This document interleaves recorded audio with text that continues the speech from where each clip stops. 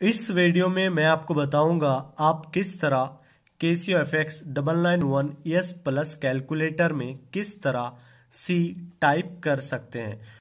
यहाँ पर आपको रेड कलर में दिखाई दे रहा है सी तो इसे टाइप करने के लिए आपको सबसे पहले अल्फ़ा ये बटन दबाना है और फिर जहाँ सी दिखाई दे रहा है, वो बटन दबाना है। इस तरह आप कैलकुलेटर में सी टाइप कर सकते हैं।